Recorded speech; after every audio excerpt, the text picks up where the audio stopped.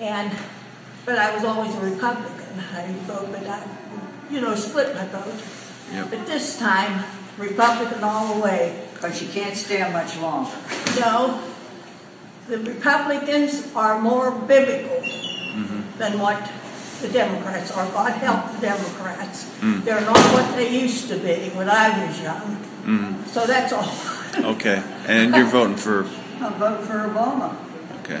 Because Democrat. I said, cleaned up the first four years is the mess before. Oh, my This God, four years is cleaned going up. to do what we need to do. And the next Democrat will pick up the other eight years. Hmm. We'll get this country back on track.